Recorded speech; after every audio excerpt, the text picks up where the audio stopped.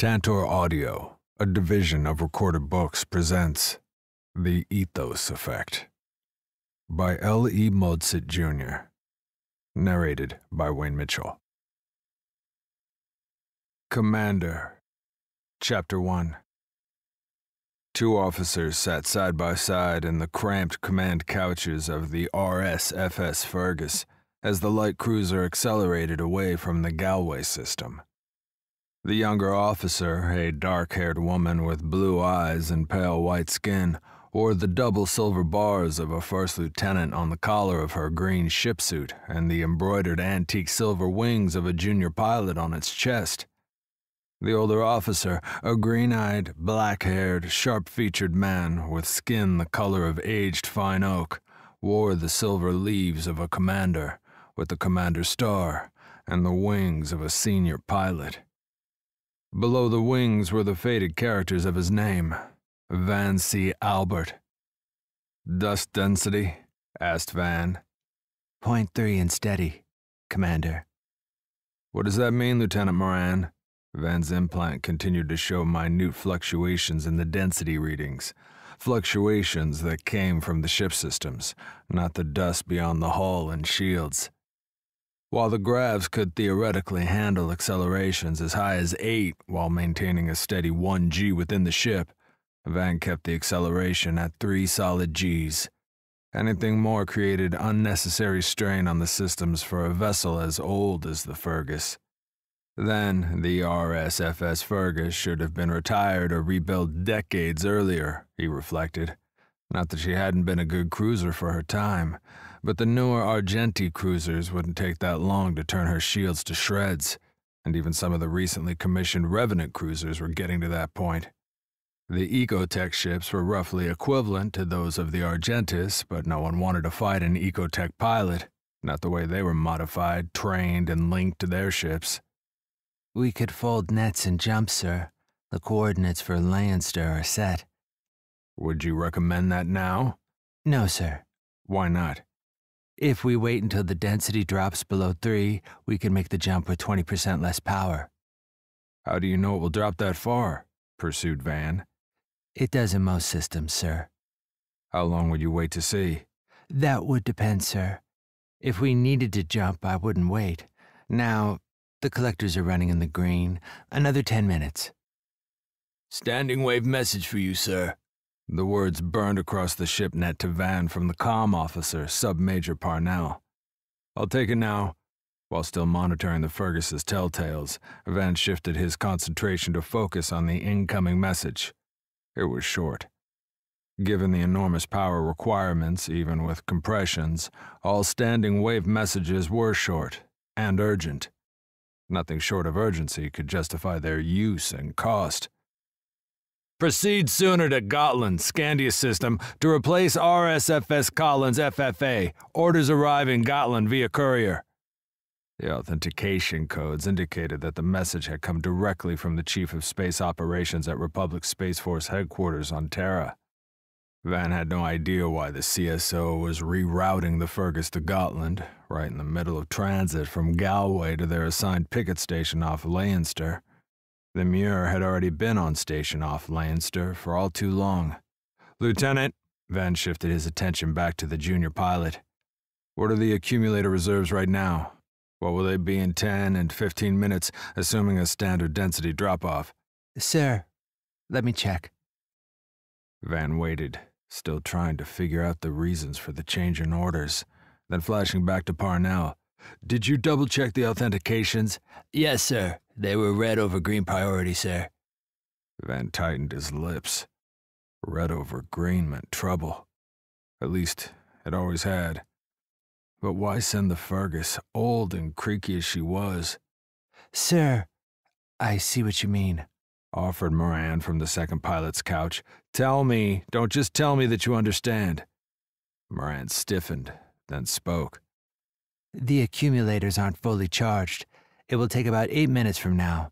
We'd come out of jump with less than full power for shields or acceleration. In a combat situation. Good! Van forced a smile. You've got it. The way things are now, you don't ever want to come out of a jump underpowered. Not if you can help it. I'd like to spend more time on that, but we've got to make some adjustments, Lieutenant. We've had a change in orders. Reconfigure for a jump transit to the Scandia system. Then, let me check the setup and coordinates. Uh, yes, sir. We just received a standing wave message from the CSO ordering us to Gotland with all due haste. Yes, sir. Moran paused. Gotland, sir? Scandia system? That's affirm. While Lieutenant Moran calculated, Van caught up what background the shipnet had on Scandia, skimming through the data as quickly as he could. Scandia system, Orange 5 plus 6, trailing arm 011145 Rel Galactic Center. Two planets with significant population. Gotland at 0.93 Tellurian norm, 1.02 G at sea level. Atmospherics within acceptability for non mods. Malmet at 0.72 Tellurian norm, 0.65 G, atmospherics at limit of acceptability. Basic terraforming completed 1104 NE. Government, Modified Rep Republic, Universal Adult Suffrage. Non standard meritocracy overrides, continent based, single house, parliamentary assembly, planetary executive with veto power, all executive functions operated and executed at planetary level, limited bureaucracy. Two principal political parties, the Liberal Commons LC and the Conservative Democrats CD, considerable unrest with local riots for the past half century until the election of the present premier, Eric Gustafsson, CD, skilled at mediating conflicts. What in Malmagi was a non standard meritocracy override? Van had never seen that terminology in a background section. What had been the sources of the past unrest? Most planetary systems were well beyond that kind of descent. Economic, post extractive, belt mining, and low nanoformulation technology. Also, large natural food sector. Military, Universal Military Service, UNISEX, Ground and Planetary Defense rated superior. In system space defense limited capability, 10 corvettes, equivalent Robarts class, and two cruisers, equivalent Gregory class no dreadnoughts or battle cruisers, no outspace fixed emplacements. Van paused and rescanned the military data. Effectively, the Scandians had no real defenses against outsystem attacks. The Universal Military Service meant that Gotland and Malmet could be destroyed, or rather, life on both planets could be, but that neither could be conquered if the Scandians maintained their resolve. Political. Scandia system is the closest non-aligned inhabited system to Timuri, Orange 5.5 plus 6 trailing arm 011157 Rel Galactic Center. Revenant Missionary Training Base. Van called up the multi-dimensional image of Orange Sector, then zeroed in on Scandia system, as depicted in the ShipNet representation. As he had suspected, Gotland and Malmet were the last non-aligned planets between the outer Inspin systems affiliated with the Terran Republic and the Revenant systems. Below and inward of both lay the far larger Argenti commonocracy, although the Argentis were really oligarchs of the old style. At present, during the government headed by Gustafsson, Scandians are maintaining open trade and have requested that other systems respect their neutrality by maintaining no military presence in the Scandia system. No military presence has been defined as one military vessel and one courier. The Collins was a full battle cruiser, the first of the latest class.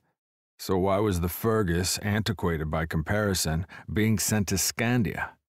Had something happened to the Collins?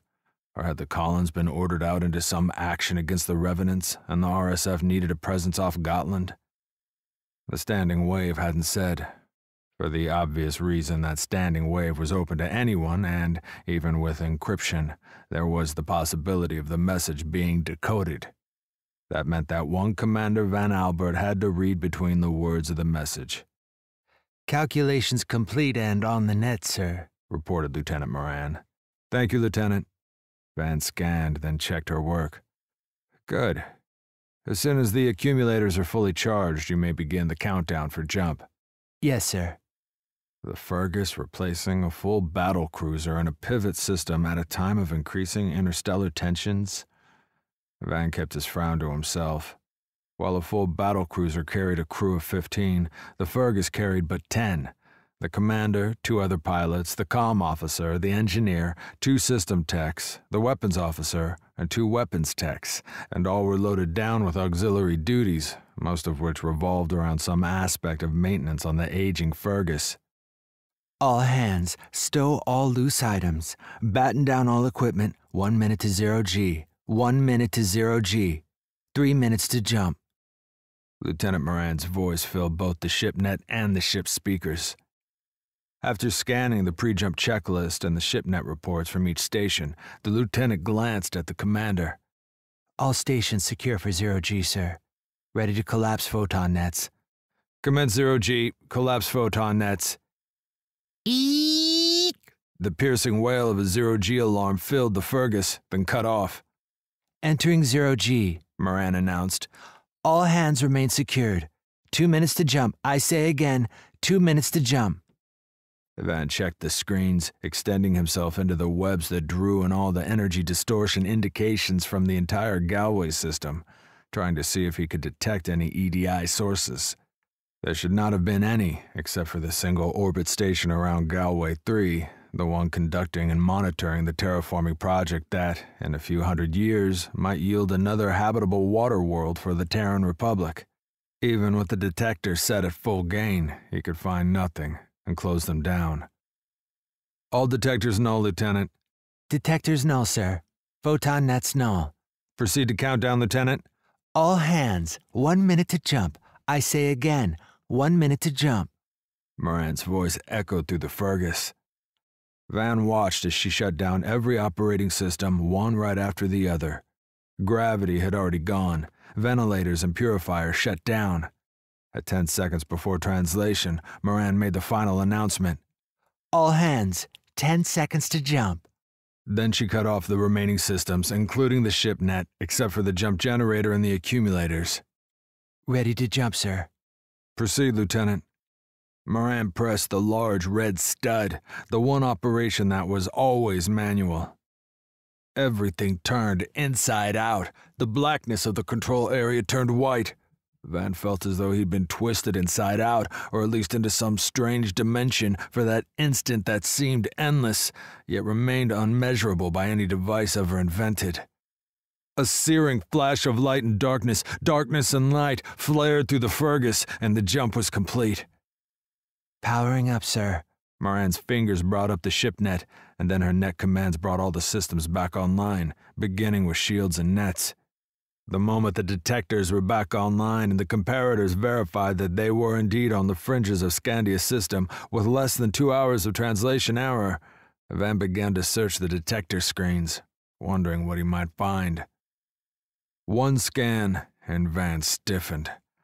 Less than 50 MK out system, and behind them was the EDI track of something bearing down on the Fergus. I have the con! Van triggered the emergency siren and diverted power from all non vital systems into the photon nets, the drives, and shields, immediately turning the Fergus into the oncoming ship. A heavy cruiser of some sort with distorted EDI tracks, or an EDI of some type he'd never seen. Torps inbound! Came from weapons. Van caught four on the net monitors and put full power into the shields, letting the photon nets fade. Standard shields were supposed to hold against three, not against four, and certainly not the old shields of the Fergus. Desensitizing. All the screens and detectors went blank. Even so, Van could feel the wash of energy against the ship net. As it subsided, he opened the detectors, shifted power to the nets, and continued to build acceleration toward the unknown cruiser. More torps! Got them! There were two. Van shifted power to the shields, but left enough for nets and screens to keep building speed and collecting hydrogen and dust, or before long he wouldn't have any mass for the fusactor at the rate of power he was using. Again, he waited until milliseconds before the expected impact before desensitizing, then shifted full power to the nets for a long moment. What he planned was a gamble, but the Fergus couldn't stand too many more torp impacts against its weaker screens. Certainly what the attacker was counting on. The courses weren't collision based, but close enough for Van's purposes, especially against a newer vessel, and the Fergus continued to accelerate outward, the photon nets growing and gathering hydrogen and other various bits of dust that would become reaction mass for the fusactor. Any idea on bogey? No, sir. With less than a minute before CPA, Van watched and waited, feeling the sweat pouring from his forehead despite the chill in the cockpit. Then, even as weapons announced, Torps! Van diverted full power to the nets, squeezing them forward and hurling dust and hydrogen at the oncoming cruiser. Nearly simultaneously, he released two torps and then a second set of two, even as he slewed the Fergus across the path of the attacker, and then cut all power to everything and diverted all power to the shields, desensitizing the ship as well. Eek! The EMP bled in over the damped equipment, and the Fergus actually rocked for an instant. Van smiled, coldly. After another 500 milliseconds, he extended the screens and detectors. They revealed a hot and rapidly expanding ball of gas and several irregular fragments of metal. Com, any indicators of who that was? No, sir. Didn't match any profile. EDI could have been off turn rev. Shields were close to Kelter. Van opened the photon nets to let them rebuild mass, then swung the Fergus back in system, slowly and sluggishly on what power and mass remained of the Fergus. He scanned what lay inward. The EDI traces from in system, well in system, indicated a battle cruiser orbiting Gotland, next to a large orbital station, and the colors suggested strongly that the vessel was Revenant. A smaller EDI came in shortly, a Terran courier. Probably the one with detailed orders from the CSO for the Fergus. There were two other light cruisers stationed where they could open fire on the Revenant cruiser, and the EDI traces suggested they were the Scandian cruisers. The only other non Scandian vessel was a frigate, Argenti, from what Van could tell, also orbiting Gotland. There was no sign of the Collins. Van blotted his forehead and turned to Moran. You have the con, Lieutenant. Take her for now. Maintain half shields. Yes, sir. I have it. Maintaining half shields. Van cleared his throat, then began to speak, also forming the message for the ship net for those linked there. All hands, this is the commander. We just fought off an attack by an unknown cruiser, and we are entering the Scandian system. Just before jump, we received urgent orders to divert here, then proceed to Gotland, the fourth planet, where we are to receive more detailed orders. We are replacing the battle cruiser Collins. Right now, that's all I know, but we'll keep you informed as we can. That is all. Weapon status? Van snapped across the ship net to Lieutenant Mitchell. 21 torps left, sir. Thanks, weapons. Engineer? Fusactors close to the heat limit, sir. Port rear quadrant shield is almost amber. Starboard converter is running at 80. Thanks. Sir? asked Moran. Who. Was that a Rev ship? Or Argenti? And why did they come after us? It's not like we're trying to take over anyone else's systems. I don't know, Lieutenant. None of the IDs match. The drive EDIs were altered, or they belonged to a system we've never heard of, and the torp traces were so standard that it could have been anyone. And they didn't bother to tell us who they were. Sir, I'd heard of what you did. But how did I know how to do it? Van laughed harshly. That's what commanders are for. You learn your ship, what she can do, what she can't. The Fergus doesn't have shields like the newer cruisers, but the photon nets and the collectors were over engineered. That was because of the inefficiency of converters when she was built. They didn't bother to change the nets when she was refitted 10 years back.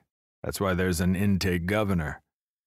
I've never seen anyone squeeze the nets that way. Except for something like that, you don't want to. We lost close to 20% of one converter and nearly overheated the fusactor.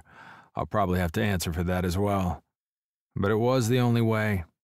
What I did was use all the matter in the nets to overload their shields. Shields don't care whether what's coming at them is gas and dust or a torp. The total mass load is what matters.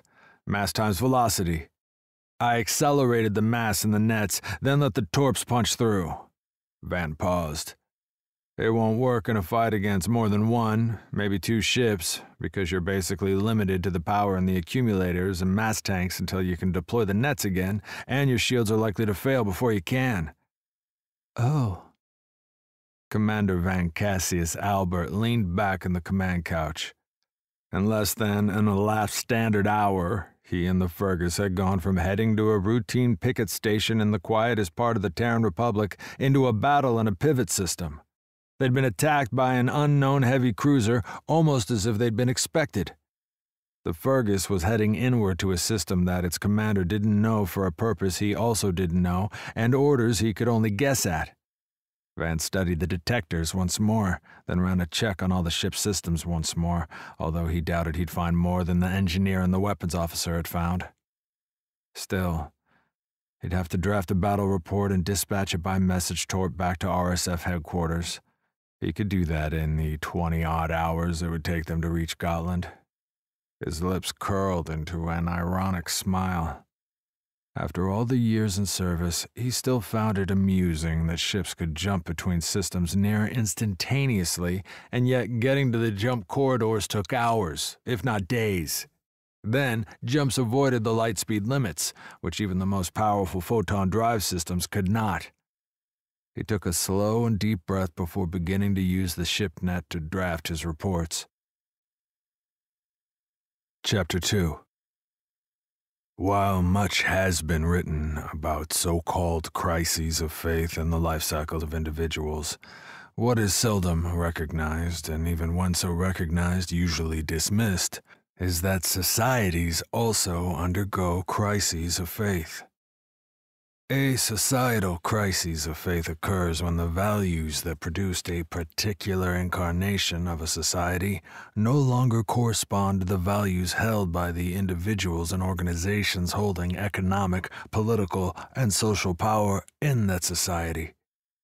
Paradoxically, these value changes seem to occur first on a social level in reality, the changes are already far advanced by the time they appear, because in most societies, social standing and mobility lag behind economic and political power.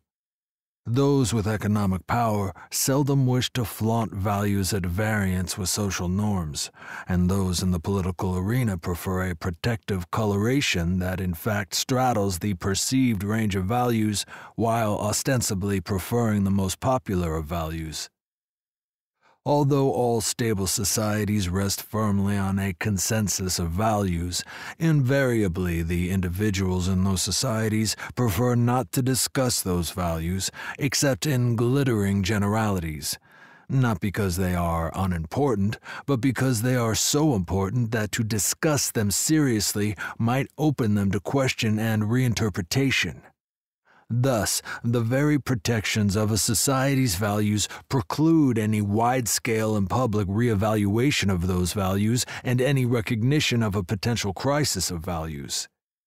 Since morality is the sum total of those values, the first public symptom of a crisis of values is usually a series of comments about the growing immorality of society almost always directed at the young of a society who have absorbed what their elders are in fact doing, rather than professing.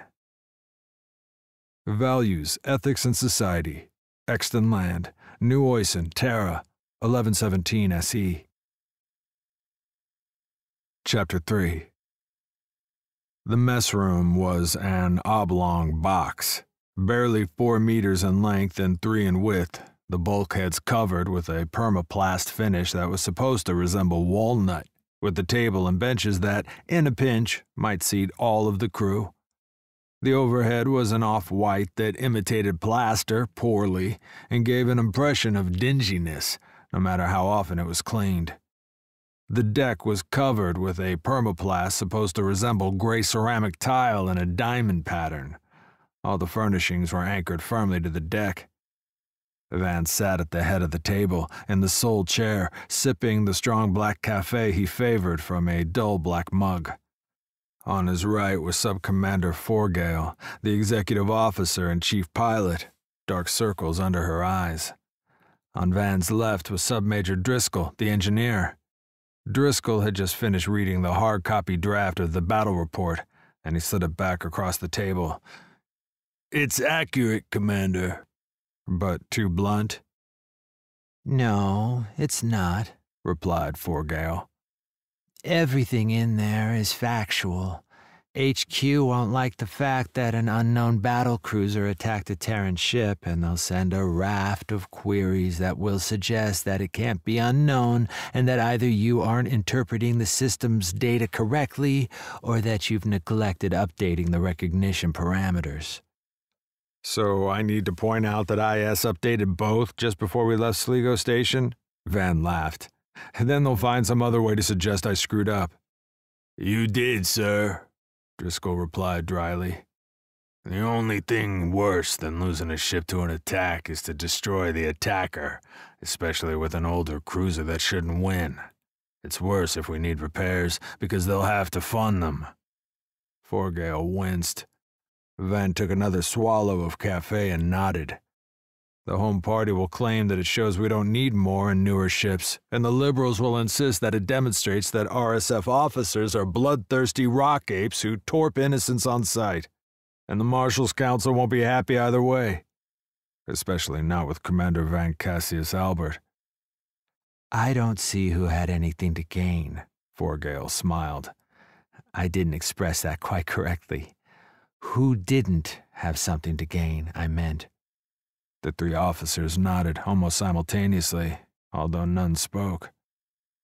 Everyone would have gained something with the loss of the Fergus, except the commander and crew. The Terran Republic would have gotten rid of a near obsolete ship and a difficult commander, as well as have obtained a demonstration of why newer and better ships were needed. Both the Argentis and the Revenants could have blamed each other for the escalating border tensions and gained political and popular support. The Ecotech Coalition could have breathed a sigh of relief that they wouldn't have to fight another war against the Revenants. Scandia could have played everyone off against each other. But, with the success of the Fergus, the whole situation merely degenerated into a problem and embarrassment for everyone. The RSF would be blamed for having a torp happy commander going off uncontrolled, and all the others risked either embarrassment for incompetence or for lack of knowledge about the situation.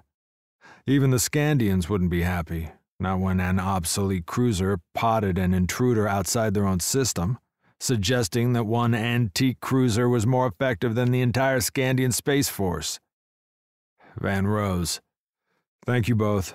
I'll need to make some changes before I send this off. He took the cup to the adjoining galley where he emptied it, racked it in its place, turned and left the galley, then the mess. As he eased into the main passageway fore and aft, behind him, he could just catch the whispers. You don't think it was an accident? With the commander, after the Regnuri incident? Planned as potted palms. That was what Van thought as well but he said nothing as he walked a few meters forward to the cubicle he rated as commander. There he revised the battle report, then fed it into the message torp. He accessed the ship net linking to Lieutenant Moran. Lieutenant? Yes, Commander. I'm about to release a message torp to RSF Depot. Report on our encounter entering the system. Just wanted you to know. Yes, sir. I'll log it. Van keyed the release, then monitored the torp from the ship net until it jumped and translated back toward the depot of Sligo Station. Then he stretched out on the narrow bunk. He hoped he could sleep before he had to relieve Lieutenant Moran on the controls. They had another 18 hours before they reached Gotland. By then, the message torp would have reached the RSF depot, and the Marshal and his council would begin to decide what to do with the Fergus and her commander. Chapter 4 In the darkness of the damped cockpit, Van continued to scan the passive inputs from the detectors, waiting, watching. The lieutenant in the couch beside him said nothing. A line of light, merely a representation of a lay search, swept across the virtual rep screen toward Van and the ship.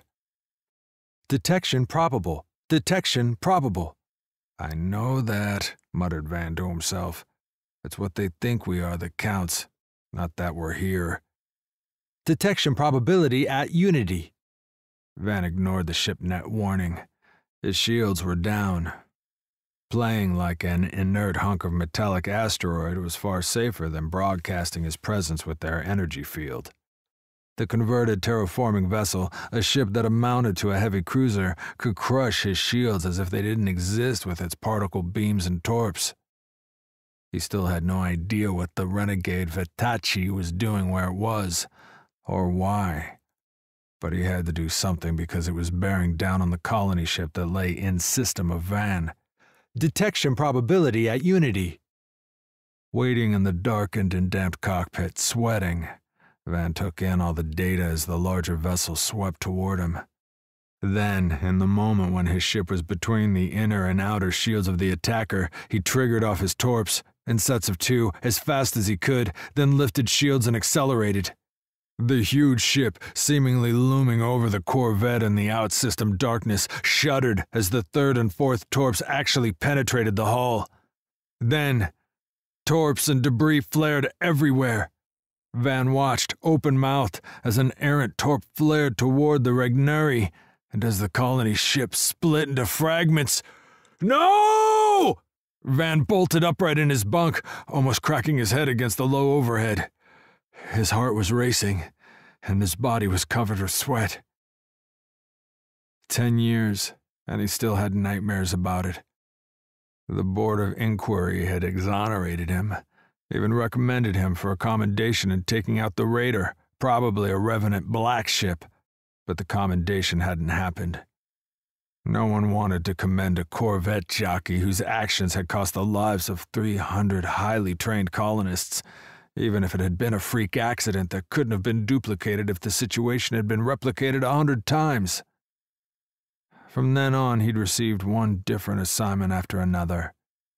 After the inquiry, it had been the Gort Forge, the last of the Neve class, with an entirely new and green crew because the former officers and crew had been court-martialed for refusing to fire on the Kelter merchanter carrying the escaping rebels of Cool.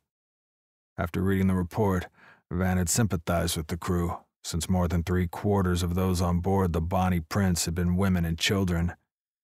The Marshal's Council doubtless hadn't seen it that way, because the rebels had been Kelter sympathizers who had destabilized Cool so much that riots still occasionally broke out. After he'd completed two tours on the old Gort, and after RSF had decided to retire the ultralight cruiser, he'd been given command of the Fergus, yet another ship plagued with problems. Except there hadn't been any in the two years he'd been commander. Sitting in his bunk, still sweating, Van blotted himself dry, then stretched back out, hoping he could sleep. After a while, he did doze off, without nightmares, but with disturbing dreams he couldn't quite remember when he woke. He climbed back up into the cockpit after a small meal, breakfast, he supposed, bolstered with the evil tasting sustain Forgale slipped out of the command couch with a grace that Van had always admired and envied. Her smile was ironic as ever, but then, given that she was a good ten years older than Van, with a solid record that had never been adequately rewarded, the irony was more than understandable to him. Nothing new, Commander. The Rev cruiser hasn't moved. ADI suggests stand down. The Argentis are headed out system, but not along our corridor. They're pushing it. Looks like a solid 2G acceleration. You think they had something to do with that cruiser? Van eased into the command couch and took over the screens and net. No. I'd bet either Rev or Kelter. Celts would still like to make us pay, and the Revs want Scandia system. The Argentis are heading home to spread the word? Or bailing out before they get embroiled? Both, she replied. Van nodded. I'd estimate another 30 minutes to switch over. Not enough to get any sleep. No, not much. 37 minutes passed before the Fergus neared the restricted area off Gotland. By then, Lieutenant Moran had taken her place in the second couch, since two pilots were required prior to and after translation and when nearing restricted spaces. Switch over checklist, Van ordered. Nets and collectors to 10%, Moran stated. Stet, Detectors to full sensitivity. Once the checklist was complete, Van swept the area in system before the Fergus one last time, because once the Fergus shut down her nets in so close to Scandia's sun, it'd be limited to the power in the accumulators. It was also limited to the fractional G power of the unaugmented ion jets. The detectors only showed the Scandian ships, the Rev battlecruiser, still in stand down, and the RSF courier. Van checked the ship's systems again. The starboard converter was still only at 85, a trace better than after the encounter out system, but not good enough for another fight or sustained high speed in system operations. The port rear quadrant shield was out of the amber, but by so little that it might as well have been amber. Any significant strain, even a small chunk of space debris, would probably blow the shield. Switching over, Van announced. The Fergus continued to creep, or so it seemed, toward Gotland Orbit Control. Gotland Orbit Control, this is RSFS Fergus inbound from Galway. Request orbit clearance. Stet Fergus, request duration of orbit. Van thought for a moment. That was hard to say, but he'd never been parked anywhere for more than a standard week. On the other hand, he didn't know how long it would take Sub Major Driscoll to repair the damaged converter and shield generator, if he and his techs even could. Orbit control, estimate three weeks, maintenance required. Fergus, request purpose of visit and payment method for services. Orbit control, purpose is maintenance, port call, and message pickup. Payment method is intersystem credit transfer, Terran military subset. Stet Fergus. The slightest pause followed. Interrogative excessive EMP and outer system. Orbit control, source of excessive EMP noted, but Fergus was unable to determine source. That much was true. Fergus, Scandian System Defense Force requests any additional data you have on source at your convenience. Stet Orbit Control, if we have any data, we'll send. He wasn't about to give the Scandians the data and report he'd dispatched to RSF HQ. Request lock assignment? Fergus, your lock is Orange 3. Orbit Control, understand Orange 3. We have the beacon. It was almost an hour later when the Fergus slipped into the dampers. Orbit Control, Fergus is secure. Request power changeover. Lock crew has it, Fergus. Welcome to Gotland. Orbit Control, thank you. Van wasn't so certain he'd be welcome. He took the fusactors offline. The cockpit lights dimmed, then brightened as station power and full 1G gravity filled the Fergus. Van eased out of the command couch. The back of his ship suit was damp, as it always was, and now he'd have to deny having any data. The Scandians couldn't force it from him, and RSF certainly didn't want him to provide it to anyone. Chapter 5 After the Fergus had locked into Gotland Orbit Station, Van had undertaken a thorough post flight and systems check. That had taken hours. After that, he'd approved the crew rotation for both maintenance duties and release time aboard the orbit control station. Then, back in his cabin, he'd written up his notes on maintenance requirements. With those in hand, he and Major Driscoll had met and decided on what actually could be done, such as repairing the converter and the ailing shield generator while they were at Gotland orbit control and as they waited for whatever orders might be headed their way. No such orders had arrived during the next day, but it had taken them almost the entire day to track down the contract maintenance chief of the orbit station and another half day to work out the arrangements. Then, once those details had been settled, he and Driscoll had returned to the Fergus, and Van had begun writing the maintenance request report that he was required to dispatch back to RSF HQ. HQ would be less than pleased with the projected costs of the repairs, but they had no choice but to approve them, since, if anything happened to the Fergus, no one would want to explain that maintenance had been denied. He'd worked on that less than an hour when he was interrupted again. Commander, there's a Commander Bale here to see you, sir. RSF Commander, I mean, sir. Came from Shannon, the female head comtech, standing quarterdeck watch. I'll be right there. Van closed off the small console in the corner of the cubicle that served as cabin and office and stood, moving toward the midship's lock. I'll tell him, sir. Shannon's net presence seemed melodic, unlike that of Parnell, who always seemed nasal, or Driscoll, who rumbled. Thanks. What did the commander want? Van wasn't even aware that there was an RSF commander in Scandia's system, unless he happened to be the military attaché to the Terran embassy.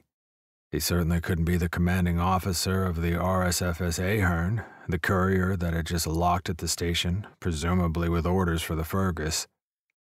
Courier pilots were always either senior lieutenants or sub majors, usually women, because couriers were two person ships, pilot and tech, with cramped space for no more than two passengers.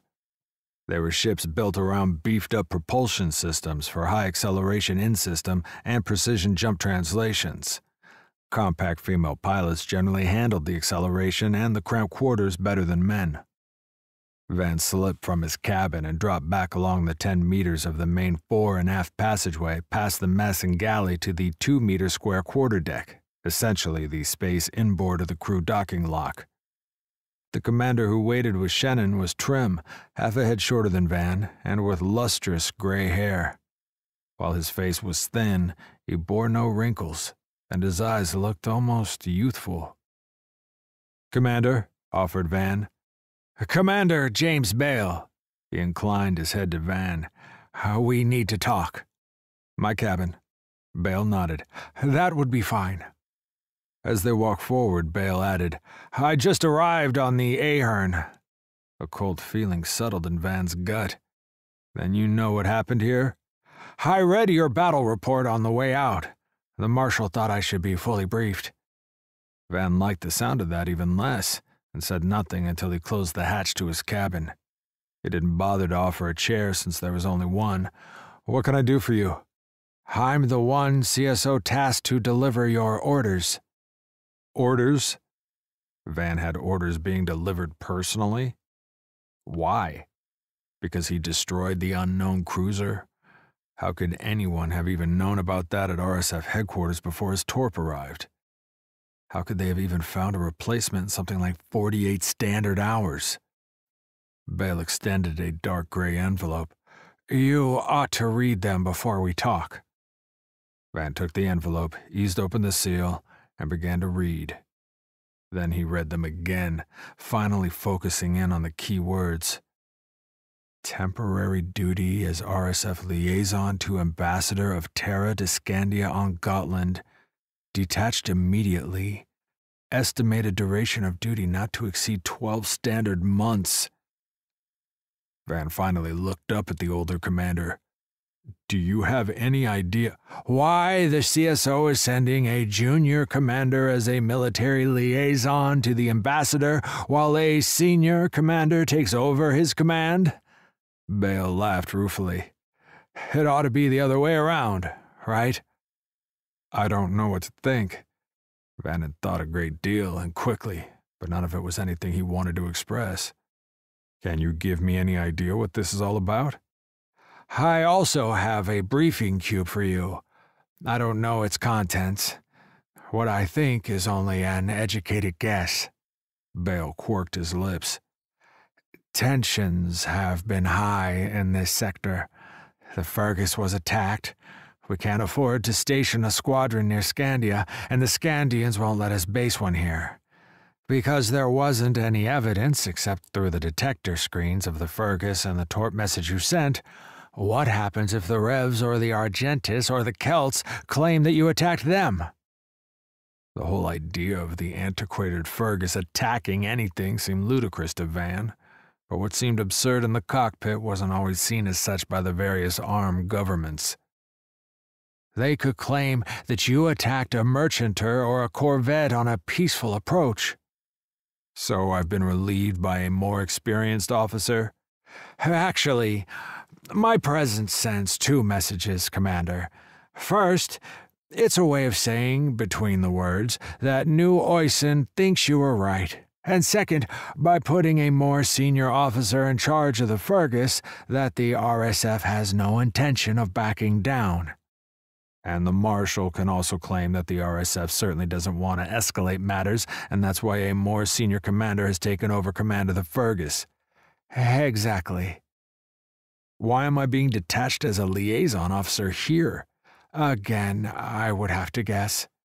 Van doubted that there was any guessing at all, but guessing allowed deniability.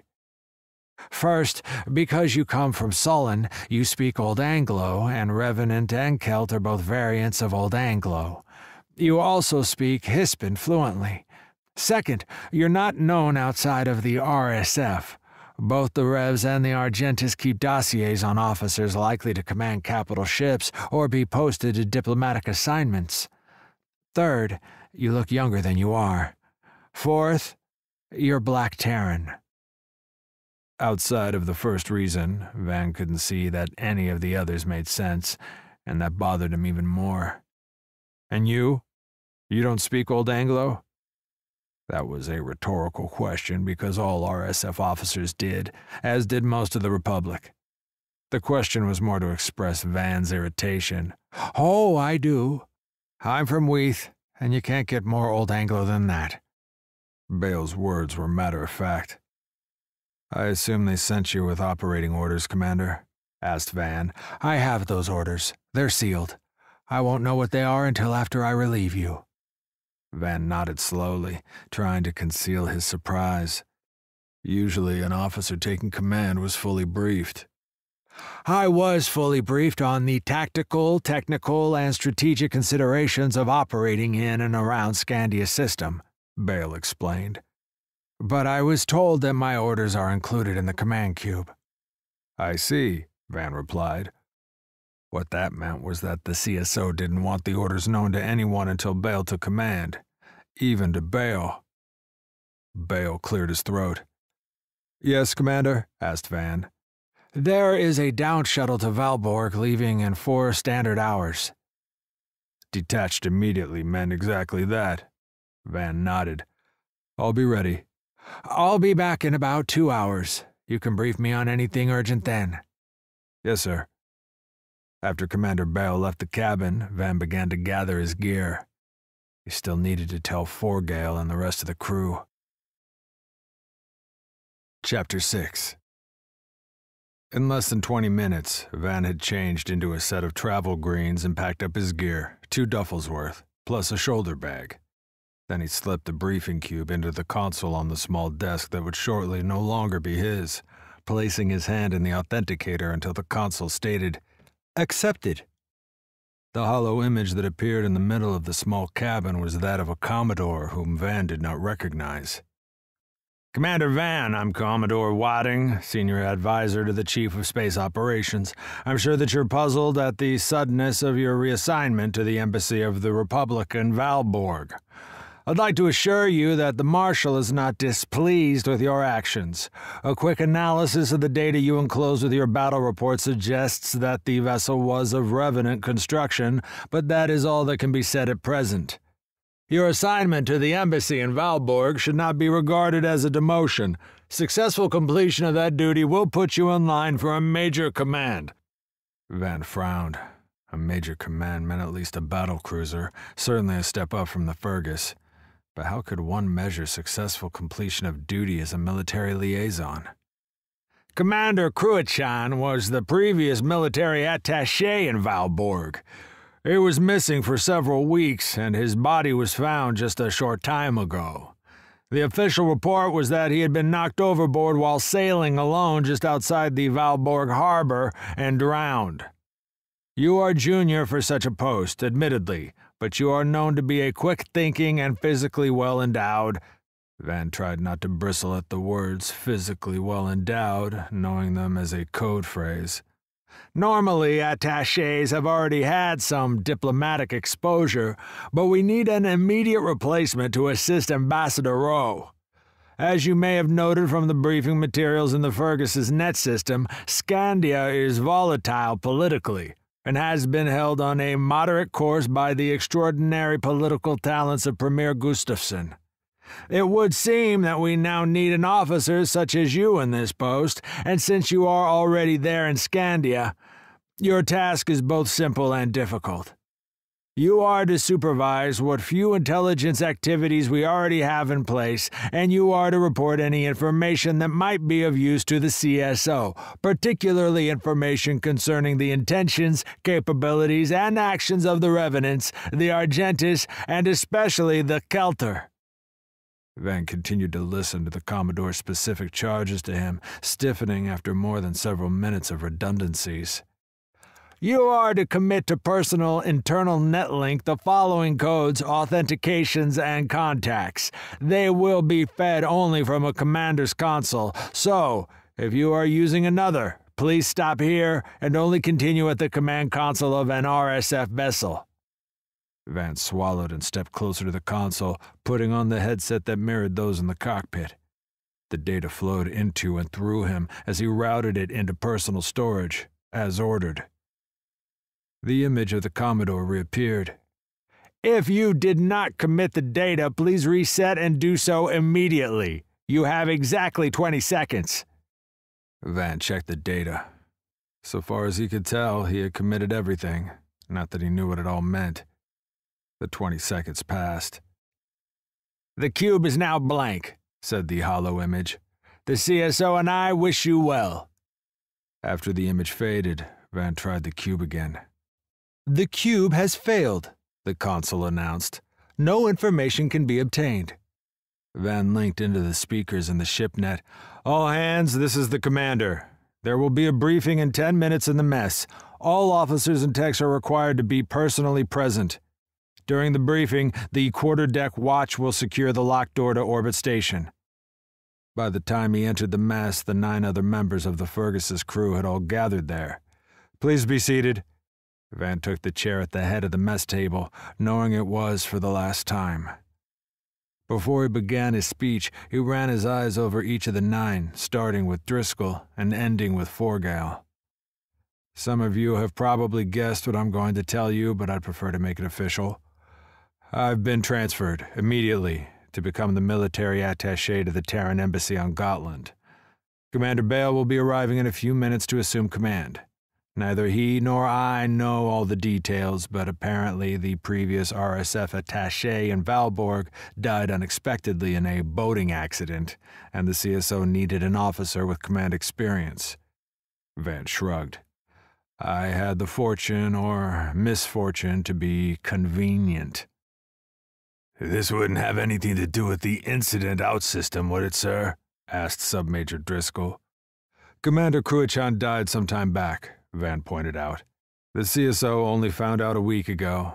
I suspect that when we were diverted here to take over for the Collins, they decided that the simplest solution was to transfer me ahead of schedule. That was partly true, at least. Do you know what we'll be doing, sir? asked Forgale. No. Commander Bale has sealed operating orders for the Fergus. Stars cut, muttered someone at the end of the table. Shannon's lips tightened, but she said nothing. A Commander Bale is at the lock, announced the shipnet. Someone will be right there, Van Linked replied. The commander is here, Van said. Any last questions? The mess was silent. Van rose and left them, leaving the mess and reaching the quarterdeck in a few strides. There, he opened the lock. Bale stood there with one slim duffel and a shoulder bag. Welcome aboard, Commander. I was briefing everyone on the change of command. You finished that? Just as you arrived. Through the net, Van could sense Forgale, and he half turned. Commander Bale, this is Sub-Commander Forgale. Pleased to meet you, sir, replied Forgale pleasantly. I'm looking forward to working with all of you. Bale's words and smile were both warm and youthful sounding. Van envied the warmth, for he'd never had that quality. After a moment, he said, We'd better get on with the change in command. Lead on, Commander, Bale said. Van did, turning left off the quarterdeck and making his way forward to his cabin. The two stepped inside, and Bale set down the duffel, looking to Van. Van stepped to the console and placed his hand in the authenticator. Change of command. Insert new CO's cube. Commander Bale inserted his cube into the commander's console. Accepted, subject to approval of Commander Van, the ship net announced. Van linked with the net, running down the protocols, the codes, and the command accession protocol. All was in order. Approved, Van stated, keying in his approval as well. Command transferred. Van felt suddenly isolated as his access to the command protocols dropped away and he could only access the ship net in a general sense, not even so much as the most junior tech aboard the Fergus. She's all yours, Commander. Thank you, Commander. I wish you well in Valborg. Bale smiled professionally. We'll do what we can. Van slipped the shoulder bag in place, then lifted both duffels and stepped from the cabin that had been what home he had for the last two years. The new commander of the Fergus followed him. As Van neared the small quarterdeck, Forgale stepped forward. Her smile was sad. We'll miss you, sir. Sir. No longer commander. Despite the vague assurances of Commodore Wadding, he wondered if he would ever command another ship. I'll miss all of you. And he would. Forgale especially. Then, with a salute, he stepped from the quarterdeck out into Gotland Orbit Station. He had not taken three steps away from the lock when the station system intercepted him. Inquiry? Name destination? The station had sounded officious and obnoxious. Van supposed that was necessary to get attention, but he politely replied with his identity and immediate destination, Shuttleport 2 to Valborg. He kept walking along the main corridor. Purpose of trip to Valborg? Take up duties at Terran Embassy. The feel of the net changed. Commander Van, would you please explain? The previous military attache died in a boating accident several weeks ago. I'm being transferred to take his place. For several minutes, as Van walked by two empty lock ports, the station net was silent. Please report to the Outsystem Personnel Office opposite Shuttleport Lock 1 before embarking on the Valborg shuttle. It should only take a moment, Commander. Stet Station. There was no response from the station net, not the Van had expected one. The corridor or thoroughfare that linked all the lockports was a good 10 meters wide and 5 high. The corridor bulkheads provided planet-side vistas that changed in real time, presumably scenes from Gotland, although Van did not know that.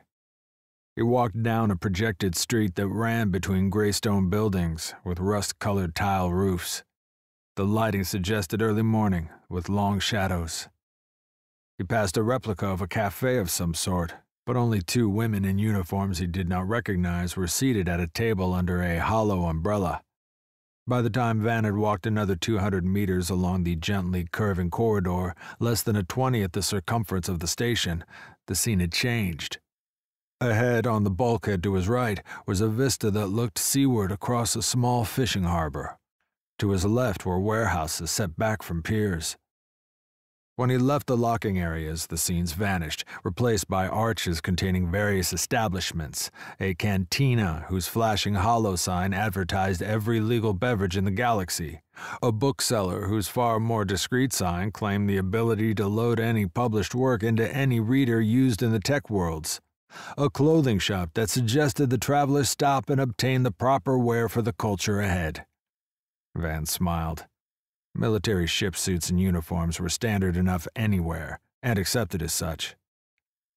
Another 300 meters finally brought him to the section of the station devoted to the planetary shuttles, just three locks, as opposed to the number available at an orbit station for a larger system such as Terra, where there were eight locks, half busy at once.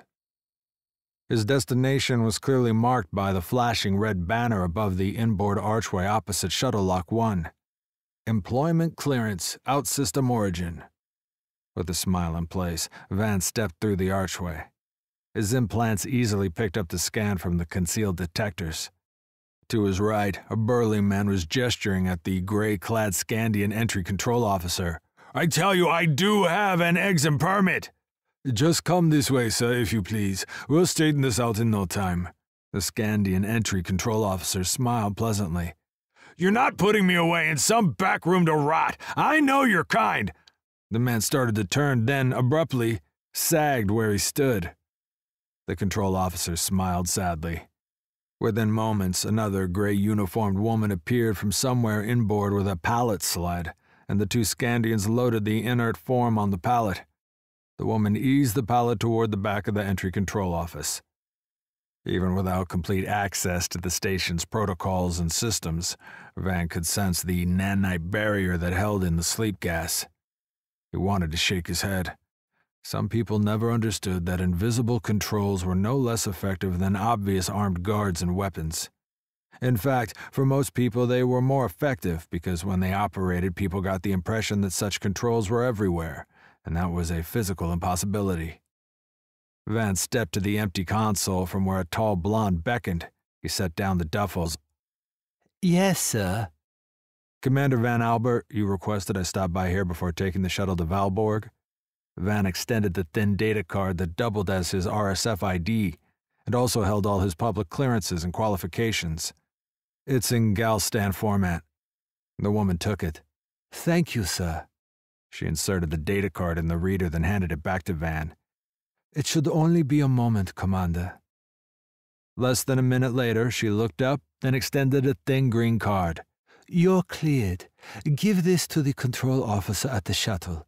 You might not need it, but we never know if they always remember to update the systems when they lock in. You shouldn't need to check with us after this. I hope you enjoy your tour in Valborg. She smiled warmly. Most officers do. Thank you.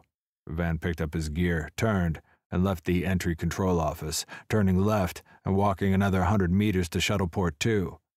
There, a handful of men and women sat in the synthwood straight back chairs in the bay outside the lock. Van walked up to the slender man standing behind a chest high console. Is this where I check in for the Valborg shuttle? Yes, sir. You've been through personnel? Van showed both data card and thin green card. I'll need those for a moment, and also an authorization of some sort for the shuttle charge. I can code that in, Van said, handing over the two cards. Right there. The shuttle clerk nodded toward the miniature console to Van's left. Van touched the pad, then used his implant to input the authorization codes from his orders. You're cleared and paid for, sir. We'll be boarding in about half an hour. Thank you. Van nodded and picked up his gear once more, heading for one of the straight-back chairs. There he sat down and studied those waiting, one after another picking out several Argentis, a Keltrader, a good dozen Scandians of both genders and varied occupations, and four male Revenant missionaries. After the Ecotech Revenant War and the settlement reached only because the Revenants had been visited by another prophet, most of the tech worlds had followed the Ecotech Coalition's example and allowed a handful of Revenant missionaries. Van had his doubts about prophets, either Terran or Revenant, but it didn't make much sense to express those doubts. He'd heard that the Revs had actually had some success in the Argenti and Kelter systems. They'd been less successful in the Terran systems. Finally, he settled back to wait for the boarding call. Chapter 7 After turning his duffels and shoulder bag over to the shuttle cargo clerk, Van stepped into the windowless passenger cabin of the Valborg shuttle, taking in the center aisle, the 2x2 seating, and the relatively compact couches. Those all indicated a MAGS shuttle, and that Gotland had a relatively strong magnetic field, meaning that it had not been terraformed, or not extensively. He checked his seat number and slipped into the couch in the third row, the one against the wall, fastening his harness and restraints. Shortly, a junior officer in shimmering whites appeared. He paused, studied the assignments, and finally took the aisle seat beside Van. As he took in the revenant lieutenant, Van repressed a smile, then waited for a time. The Rev officer did not look toward Van. They do put us in close together, Van offered in Old Anglo. It happens on mag shuttles, replied the Rev. You on planetside leave? Van asked politely. No, duty. Van studied the white uniform, then nodded. Guard detachment at the embassy? Or are you a courier? The Rev frowned. If you don't mind. It doesn't matter, Van said. I was only making conversation. I've never been planetside here, have you? Yes. Anything of particular note you'd recommend seeing? The Rev forced a smile. The coastline north of Valborg is spectacular, especially from the crater rim of Håkon. Also, everyone says that the purple surf of Eshen is not to be believed, but I have not seen it. The Rev paused, then added, If you will excuse me, sir, I am not much in the mood for conversation. Van didn't push the issue. He'd made enough of a point. Please check your harnesses. The shuttle is separating from orbit station at this time. The shuttle ride down from orbit station was smooth and uneventful, and quiet. The Rev officer did not even look at Van, but kept his eyes closed all the way down until the shuttle was down and gliding toward the terminal. Then he flashed a brief smile. I wish you well in Valborg, sir. Before Van could reply, the Rev had turned and was hurrying off the shuttle. Please do not forget your baggage. The voice from the hidden speakers was female. You will be scanned as you disembark. If there are any questions, you will be met by a port official. At times, the scanners are not as accurate as we would like. At other times, passengers may have misunderstood what is allowed onto Gotland. Van reclaimed his baggage, neither hurrying nor dawdling, and left the shuttle. He walked through the disembarkation tube carrying his gear. After 20 meters, his implants registered scanning activity. He kept walking. He couldn't imagine that what he carried would be considered a problem. The disembarkation tube opened onto a windowless corridor 10 meters wide, but less than 10 meters ahead, it widened into a space a good 20 meters wide, but only 10 deep, fronting the automatic exit gates. The walls were of a blue tinted marble without carvings, pillars, or adornment of any kind. In the last few meters before the corridor widened, a single Scandian port official stepped forward out of the booth on the left side and beckoned to the stocky and mustached man in front of Van. Sir, one moment, please. Might I ask why? Inquired the man who wore a dark blue single suit, the kind favored for intersystem travel by both functionaries and the few commercial tech travelers. Disembarkation scanning revealed what might be contraband in your bag, sir. We'd like to check. The only things I have are professional samples, and I declared those at the orbit station. That may be, sir. If they're on the approved list, you'll be on your way in a moment. I was told they were. The stocky man sighed as he offered the shoulder bag. Neither man looked at Van as the Terran officer slipped to the left and around the pair, and then up to one of the automatic exit gates, which scanned Van, then opened. Outside, under a covered portico supported by square pillars of the same bluish marble, a line of ground cars waited, each bearing a single silvery triangle on the roof directly above the windscreen. Each one sported a shimmering metallic finish of a different shade. The midday sunlight beyond the portico was so bright that even in the shade of the portico, the ground cars glimmered as though they had been lit from within. Van stepped forward, behind a lithe woman in a dark gray business single suit. She stepped toward the first ground car, and Van moved to the second, one with a metallic green sheen.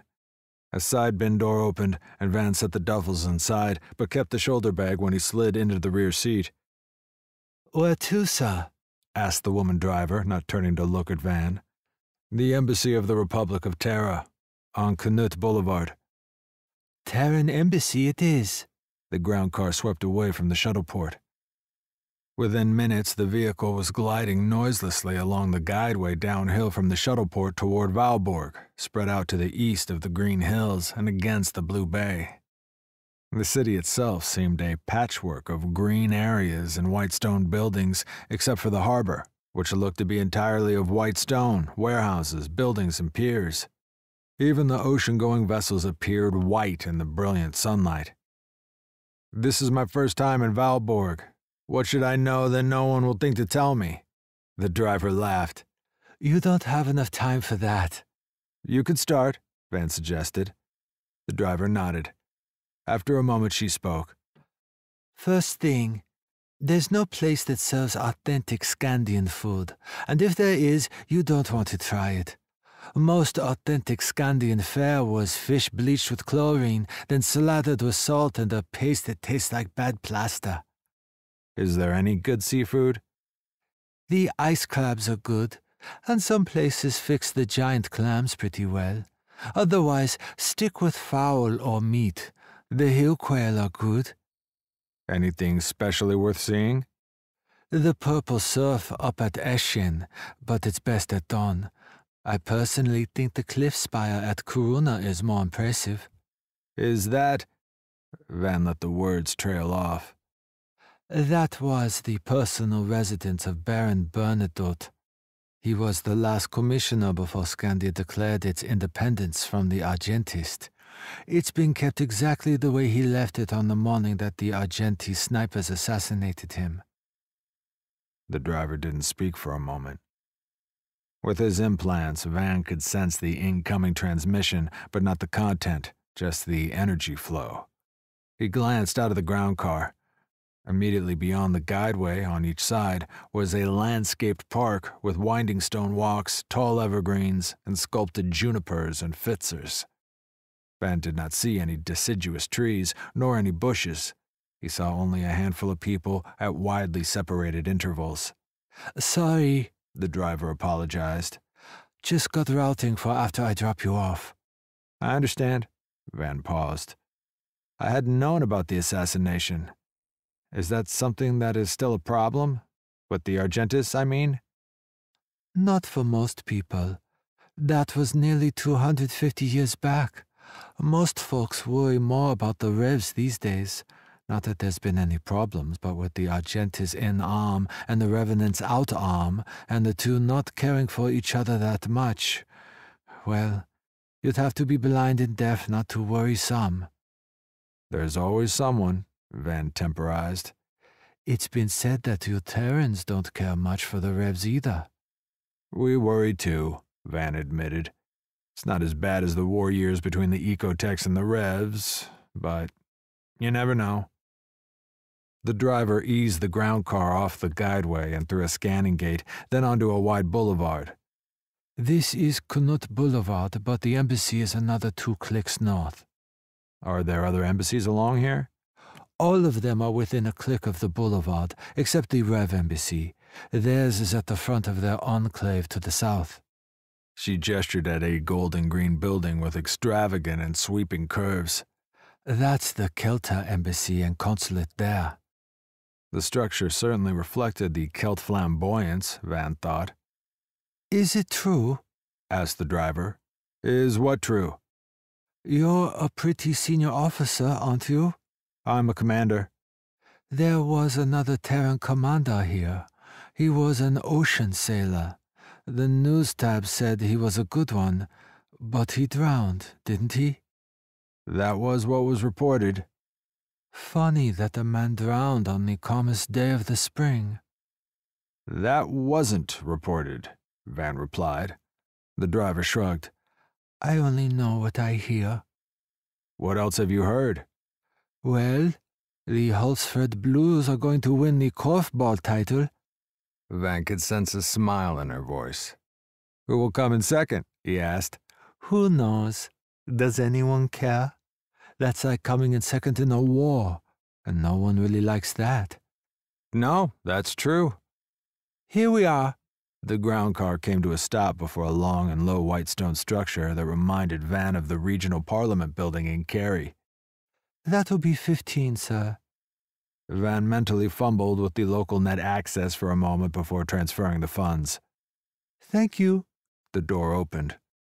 Van stepped onto the smooth permacrete sidewalk beside the ground car, extracting his duffels from the side bin behind the passenger section. As he lifted his gear, the driver's window slid down. She smiled pleasantly. Have a good day, Commander Albert. Van managed to smile as he stepped back. Thank you. I appreciated the information about Valborg. It was nothing.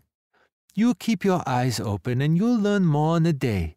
There's a lot happening if you look closely. The driver closed the window and slipped away from the entry to the embassy. Sir? asked the guard in the uniform of the Terran Marines. Commander Albert reporting for duty. Van looked at the long structure. Second archway, sir, the corporal suggested. Thank you. Van didn't look back as he entered the embassy. He hoped that the ground car driver worked for Scandian intelligence. Whoever she worked for, he'd gotten the messages. Before Van had even taken his second step into the main foyer of what was clearly the consular section of the embassy, a fresh faced and red haired younger man, wearing a dark gray single suit with narrow green pinstripes, appeared. Commander Albert, sir. That's me. Sean Bulben, sir. I'm Force Secretary here. He grinned. That means I run errands and handle grunt work for everyone. Dr. Hannigan sent me to escort you. Lead on, Sean. Van laughed. This way, sir. Van followed Bulben past another pair of Marines and down a corridor to a ramp leading upward to a landing, where it reversed its way back to the second level. Halfway up, Van could feel the security screens, but Bulben pulsed a code and the screens let them pass. At the top, Bulben stopped, gesturing to his left. All the offices of important people are up here. Yours is too. The ambassador's is on the south end, and yours and the first secretary's are on each side. You're on the west, and he's on the east. The young diplomat turned and walked along the corridor until they reached the next to last doorway on the left. Bulben opened the door, holding it as if he expected Van to enter first. Van did, stepping into a sitting room with a couch and several armchairs. You can leave your things here for the moment, Bulben rapped on the inner door. Dr. Hannigan, Commander Albert is here. Have him come in. You can head back down to your duty, Sean. Bulben looked at Van, then nodded and slipped away. In turn, Van left the duffels in the outer office, but kept the shoulder bag as he opened the inner door and stepped through the dark wooden doorway. The office beyond was no more than four meters square. The innermost wall was entirely filled with shelves containing antique printed books. The outer wall held a window more than three meters wide and two high. The wall away from the door was paneled in the same dark oak as the doorframe, the bookshelves, and the window casements, but held only a single picture a holo of the main Parliament building in New Oisin. The bronze nameplate on the old style table desk read, Ian Hannigan. The man who stood behind the desk was a good six centimeters shorter than Van's 190, with black hair, a long and narrow nose between two bright blue eyes, incongruously alive and cheerful in an otherwise sad and thin face. Van closed the door, leaving his gear behind in the outer office. Commander Albert, welcome. Hannigan gestured to the chairs across from him, then sat down exactly as Van did. Ambassador Rowe wanted to see you as soon as you arrived, and after I gave you a quick briefing on the situation here. Hannigan leaned forward, resting his forearms on the polished cherry of the desk, steepling his fingers. How much do you know about what's happening here in Scandia System? Only bits and pieces, Van replied. I was ordered to bring the Fergus here, and I assume that was because the Collins was dispatched elsewhere. I'd heard that the previous military attaché drowned while sailing. That was the official story and report. I have my doubts it was true, Hannigan said. I don't think he ever understood how dangerous Gotland can be. Do you have any reason for those doubts? asked Van. Hannigan leaned back slightly. A wry smile appeared, then vanished. Not a one. The commander was most cautious. It seemed unlikely, but sometimes the unlikely happens. If it was not an accident, who might have wanted to kill him, and why? There's no shortage of possible perpetrators. The Revs don't like our presence here. Neither do the Kelter. The local isolationists don't want any inside or outside military presence, and the conservative Democrats want to arm Scandia to at least parity with us, and there's a demonstration by the partisans of one party or the other practically every month. The Argentists still believe that Scandia ought to be theirs, and that's after over 200 years of Scandian independence. The Ecotech Coalition looks down its collective nose at anyone who doesn't practice strict conservation and population control. Hannigan paused. That's just the briefest of summaries. I have a set of data blocks for you with more detailed information. Are any of them angry or determined enough to assassinate a military attaché? They all are. Whether they would, that's another question. Except for the Kelter, and of course Scandia system itself, we're the weakest of those affected by what happens here. I've suggested to the ambassador that Commander Kruachan's death was a message. Or an attempt to raise tension so that someone makes a mistake? asked Van. That's another unfortunate possibility. Hannigan frowned. I have to say that your posting here worries me. The Marshal understands the Ministry's concerns about an officer of your inclination. Van managed to smile, hard as it was. My reputed inclination, perhaps? Unfortunately, Commander, your reputation is why you are here, and your reputation may be far more critical than your actual and present inclinations. Should I ask who you want destroyed? Van let an edge creep into his voice. Hannigan laughed warmly. We don't want anyone destroyed. Also, the senior military attache ranks as a first secretary. So I couldn't order you to do anything, especially anything like that, and that would be the last thing Ambassador Rowe would want. He believes that any problem can and should be solved diplomatically. Van nodded. Hannigan had delivered another very clear message. You won't have much time to get abreast of the situation because the summer social season is about to begin. Summer social season? In most systems, things get social in the winter. Here, the winters were so brutal that the opposite social customs evolved. Summers are most pleasant here, you'll find, if warmer than one would think from the winter. Van nodded. We don't have an intelligence network here, as such, except for you and the rest of the professional staff, but there's an innet where those who are inclined can post data and observations. That didn't match the background information Van had studied, but he did not say anything. Let's go see the ambassador. Hannigan rose. So did Van. Once he's seen you, I'll have your briefing materials and have Sean show you to your quarters in the North Wing. They're quite nice. And yours are where? In the North Wing on the opposite end. Hannigan laughed, then opened the door. Van picked up his gear once more and followed. The ambassador had an actual assistant in his outer office, an older blonde who smiled as the two men entered. You must be Commander Albert. I'm Meg McDonough, the ambassador's personal assistant. Ah, that means you're the one who runs everything? Van replied with a smile. I'm pleased to meet you. She runs everything except the ambassador, Hannigan added. Just this little office, she demurred. The ambassador is waiting for you, Commander. He said he'd see you at 1500, Doctor. Hannigan nodded, then slipped out, closing the door behind him. Once more, Van set aside his duffels and followed McDonough, who opened the inner door without even knocking. Commander Albert, Ambassador. The ambassador's office was far larger than that of the first secretary, a space a good ten meters from side to side and eight in depth. The desk was faced out from the east wall so that the ambassador could look to the door on the north wall or the wide window overlooking the formal garden below.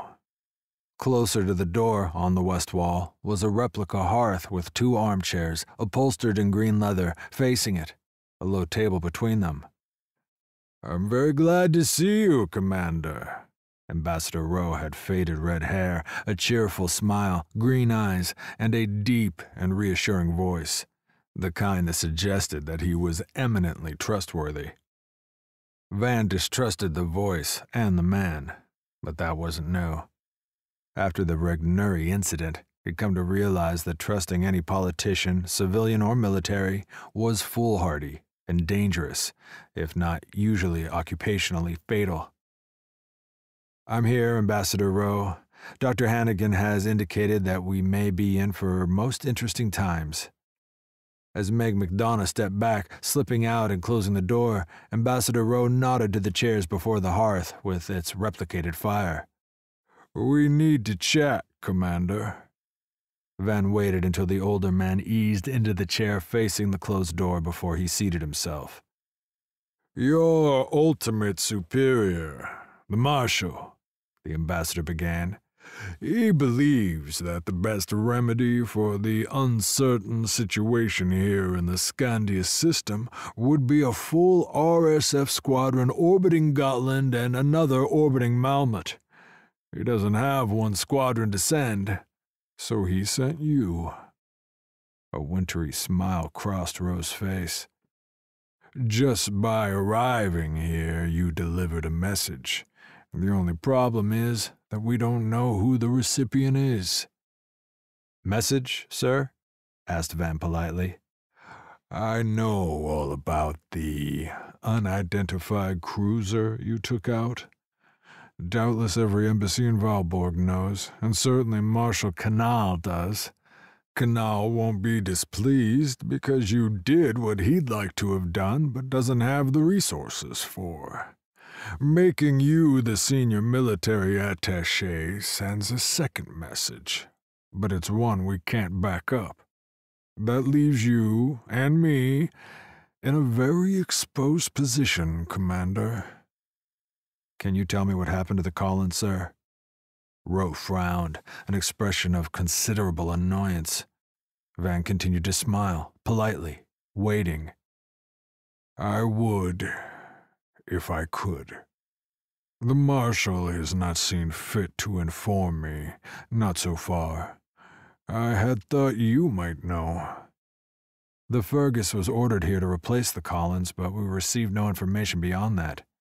We're in the same ship, then, Commander. Rowe laughed again, but the laugh faded quickly. After an interval of silence, he spoke again. I'm sure that Ian told you about my preference for diplomatic solutions, or solutions that involve methods other than military might. He did. Part of that reflects Ian's own preferences, I feel we must avoid a military approach, not because I am philosophically opposed, but because a military solution is impractical for two reasons. First, it could only destabilize an already polarized local government. Second, we cannot raise forces anywhere close to the size of the Revenant and Argenti forces that could be brought to bear here or against us. That means we must tread with care. Using your expertise and reputation as an implied statement of position and not as a direct threat or confrontation. Van nodded. You will be working more closely with Cordelia Gregory than with the other secretaries. She is the second secretary, and she is an expert in trade and economics. Unlike poor Ian, she understands both the military capabilities and limitations. I will warn you, however, that she is not the greatest supporter of the RSF. Oh? Why would that be? It would be better if she told you. Rowe stood. It's good that you're here. We'll need to chat in more detail in a day or so, once you've struggled through all the briefing materials and have a better understanding of the situation. But I did want to see you as soon as you arrived. Sean Bulben was once more waiting for Van in the outer office, although Van had not sensed any messages being sent to the fourth secretary. I'll show you your office. Then we'll set up your security codes and passes and do the same for your quarters. Once you're settled, of course, you'll take control of the embassy security systems and codes. I had to do it because, well, no one else wanted to. Sean smiled apologetically. Van had no doubts that the afternoon would be very long, as would the days that followed. Chapter 8 By the end of Eight Day, four days after his arrival in Valborg, Van's head was splitting. Learning the procedures and systems on a new ship was simple compared to all the economic, local military, and related cultural and political information he'd been expected to assimilate. He'd reset the embassy security systems and made some changes to the operating parameters. Those changes had been met with amused tolerance by the professional staff, and he hadn't told anyone about the overrides that only he could use. The worst part was that so much of what he'd had to study contained equivocations and qualifications that made him cringe. He also doubted that anyone truly understood the conflicts and the seesaw balance of power between the two political parties of Gotland, except perhaps Premier Gustafsson. He glanced around his office, almost a mirror duplicate of Hannigan's, even to the placement of the table desk and chairs and the built in wall bookcase although there were far fewer volumes and some shelves were totally bare. After taking a momentary break, he looked back at the words on his office console screen. While ostensibly an open society, the Scandia system planets have consistently denied access to alien species. Most puzzling was the immediate and adamant denial of relations with the Farhkan colloquy following independence, since the Farhkans have had a long history of disinterested study and non involvement in human societies. Later analyses suggested that Scandian leaders were concerned that the observational program agreed to by the Ecotech Coalition during the war between the Coalition and the community of the Revealed had resulted in fundamental and undesirable impacts upon Ecotech culture and that Scandia did not wish to suffer a similar fate. This tentative conclusion remains unproven, but whether unproven or not, the position of Scandia with regard to non human aliens remains unchanged, although the Farhkans have not made any effort to reopen the question. Van rubbed his forehead. Could the ship that had attacked the Fergus been Farhkan? No, the observed characteristics had been human. Also, no human ship had ever successfully survived an armed confrontation with a Farhkan vessel. While every one of those confrontations had been far earlier and begun by a human vessel, human arms technology still did not appear to have attained the same level as that of the Farhkans. So, who had been directing the attacking cruiser? And why? In some ways, the why was simpler. Whoever controlled the Scandia system gained a strategic staging point and leverage. If the Revs controlled it, they nearly encircled the lower systems in the Argenti sphere. If the Argentis did, they had a straight jump shot at two of the major Rev military missionary staging bases. If the Kelter gained control of Scandia, they'd have enough of a technological base to challenge Terra. The RSF was in a position where whatever it did in Scandia, it couldn't gain, only lose and that didn't help. Van continued reading for another half hour when there was a discreet tap on his door. Yes? Sean Bulben opened the door and peered in. Commander, you asked me to let you know when Dr. Gregory returned? She's in her office now. It's the one right off the ramp. Thank you, Sean. As Hannigan had intimated, Cordelia Gregory had made a point of avoiding Van, and for several days he had let her. Enough was enough, however. Van used his implant to flick off the console, then stood, making his way out through his empty outer office and into the main corridor.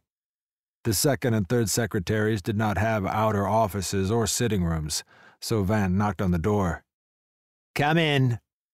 The woman's voice was firm, resonant, with only the slightest hint of the melodic. He opened the door and stepped inside, bowing slightly as he did. Dr. Cordelia Gregory was dark haired, with pale white skin and deep, dark green eyes. Her lips and eyebrows were thin. She rose from behind her desk.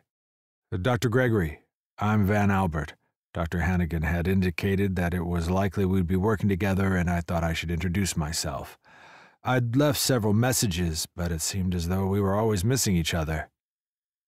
It is most likely that we will be working together, her words were polite, even, and without the slightest hint of warmth.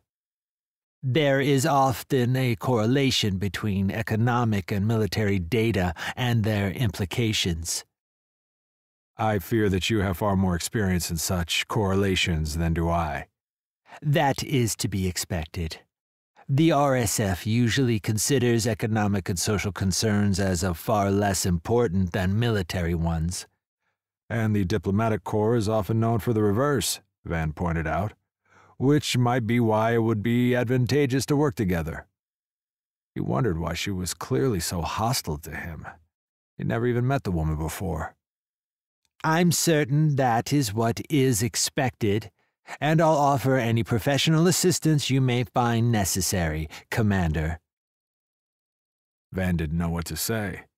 He'd effectively been dismissed by someone subordinate to him, but he wasn't in a military situation, and a quiet reminder or reprimand wasn't appropriate. Yet, accepting such an attitude from the doctor wasn't wise either.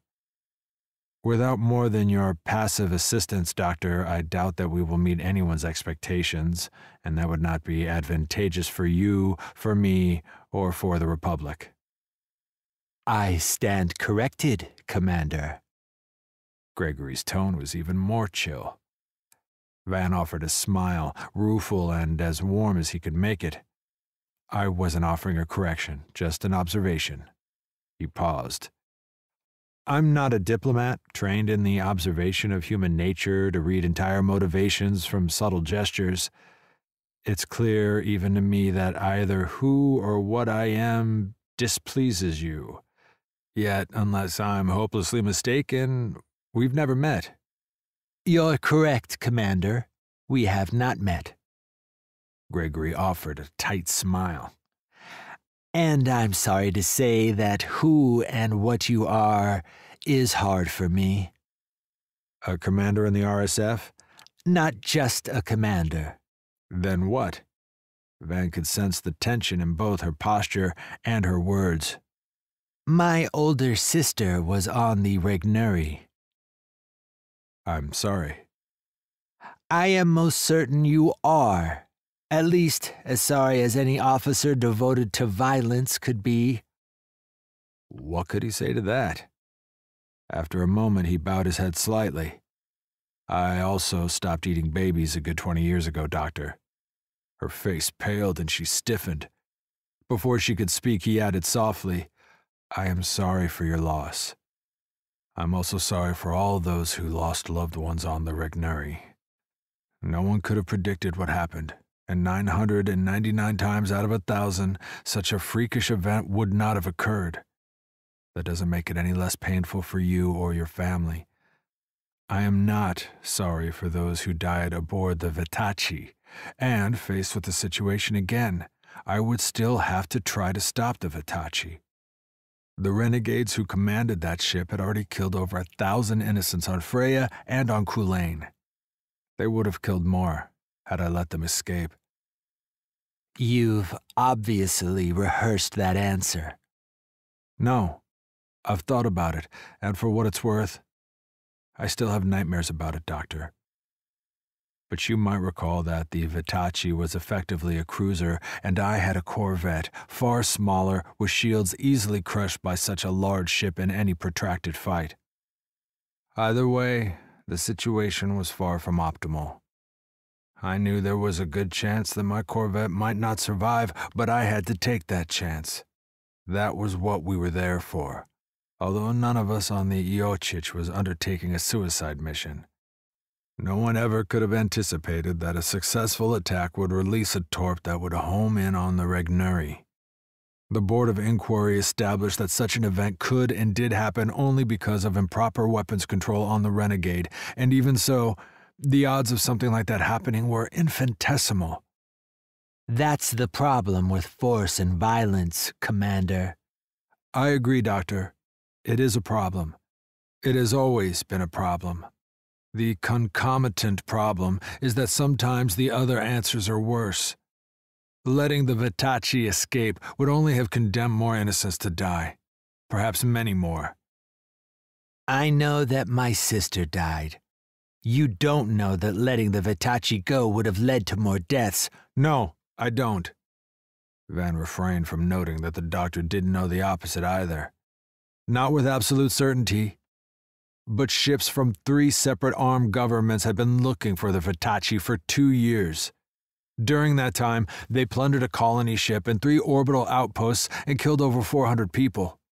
Commander, I don't think that you will ever convince me, and it's probably even less likely that I'll convince you. You have convinced me of one thing, and that I can live with. Van waited. You're not entirely the monster I envisioned. I think you were wrong. I always will. But it's clear you made a reasoned decision under stress and tried to do the best you could. It's also clear from every word you've said and in the way that you've said it that it will always remain with you. I'm glad for that. It's not something that should be forgotten. No. And I won't. Not with nightmares for ten years. I sincerely hope that is so, and I hope that you still have occasional nightmares. I do. Van wasn't quite certain what to say to that. I will work with you, Commander. I cannot say I will ever be more than cordial. I loved my sister. That would be helpful. Did you have something in mind? She asked. Not yet, no. There is something. Could you do a rough analysis of the cost and resource commitment of maintaining a cruiser on station in the Scandia system for a month without access to any local orbit facilities? Such as the unknown cruiser that attacked the Fergus? I can do that. Gregory nodded, a curt movement. Van hadn't told anyone, but Gregory knew. The ambassador told you? Just me and the first secretary. The ship didn't match any profile in the RSF databanks. I just wondered if there might be any sort of social or economic analysis that might help with identification. She pursed her lips. Just in a general sense. Building and operating that large a deep space vessel would show in the stats of any of the smaller systems, even in the Republic stats and in the Kelter stats. But the economies of the major armed governments, the Argenti, the Revenants, the Coalition, are large enough that even a multilateral could build or convert such a ship without it showing up. And piracy from farther away is also a possibility, mused Van. You don't think so? No. Someone had to have a reason to attack the Fergus. You don't attack an armed vessel except for a very good reason. The Fergus would show up on any EDI detector as a warship. I'm inclined to doubt the attack was because they mistook the Fergus for another ship. I'm not military, but I would agree. You have any problems where my expertise might help? asked Van. Actually, yes. Gregory lifted a data block. I've laid them out here. As he took the data block, Van wondered if everywhere he went people would recall his past and act as suspiciously. Still, by confronting the issue with the doctor, he turned open and cold anger into something less, and anything less was better than where they had started. I'll look into them. I might have to check back with you. That's fine, Commander. I'm not going anywhere this week. Van bowed slightly as he left. Chapter 9 At ten minutes past noon on Tuesday, Van sat in the embassy senior staff dining room at a table for four. Across from him was Ian Hannigan, to his right was Cordelia Gregory, and to his left, Emily Clifton, the embassy's third secretary. The other three tables were vacant. Before seating himself, Hannigan had moved the purple and white orchid centerpiece to an adjoining table Better to have a senior staff meeting over lunch. Hannigan looked at Van. Double duty, Van agreed. And it's easier to swallow your words with food, added Emily Clifton, with a twinkle in the gray eyes that seemed at variance with the severe face and pulled back blonde hair. The hint of a frown crossed Hannigan's face, then vanished. Van made a note to spend more time with Clifton, swamped as he felt in trying to learn a position for which he'd had neither training nor experience. A squarish, middle aged serving woman appeared with a tray from which she took four salads. Van used only the red vinegar on his greenery, skipping the oil. With the rich food provided by the embassy, he felt he should be skipping even more, much as his internal nanites balanced his metabolism.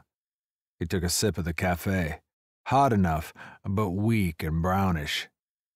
The first order of business, began Hannigan, is housekeeping. The ministry auditors have requested that we keep better track of personal use of embassy vehicles. Once more he looked to Van. You probably won't have much personal usage, but because your personal reimbursements come from the RSF diplomatic account, and they're always late, it's very important that you log your personal usage immediately. I can see that, Van replied. The second item is the upcoming Scandian Independence Celebration, the 250th anniversary. I've posted the details on the master schedule with notes to each of you.